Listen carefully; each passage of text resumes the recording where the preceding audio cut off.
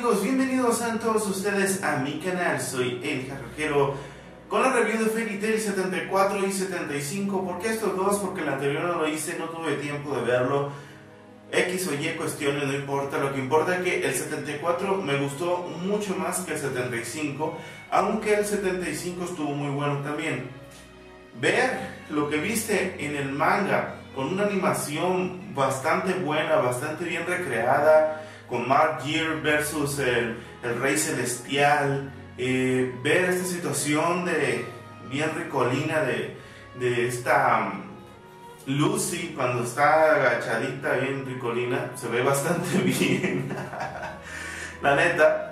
Pero volviendo al tema, yo pienso que está bien adaptado y la música de Fairy Tail sin duda es muy épica y le da un toque bastante genial, bastante muy bueno dentro de esta historia, ¿no?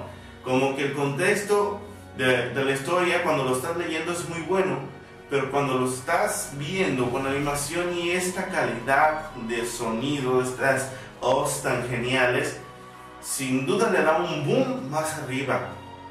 Muy pronto voy a hacer las reviews del manga también. ¿Por qué? Porque me atrasé como 5 o 6 mangas, voy a volverlos a leer. Voy a estar bien al 100 con ello para poder hablar. Eh, ya lo había leído hasta donde llegó hace como dos meses, pero luego lo volví a leer para aprender bien la historia porque me gusta saber bien de lo que estoy hablando.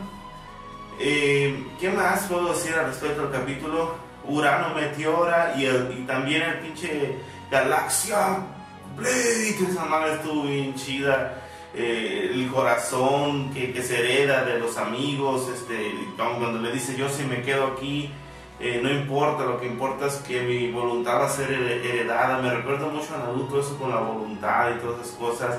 Por eso me gusta este anime, ¿no? Porque tiene muchas cosas que valen la pena, valores, eh, cuestiones bien ricolinas y, y mucha, mucha muy buena historia, la verdad. Bueno amigos, pues no tengo más que decir al respecto, simplemente los capítulos muy épicos y se vienen muchos más épicos, ustedes saben a qué me refiero. Yo he sido tu amigo Rojero y me gustaría ver en los comentarios qué opinión tienes al respecto.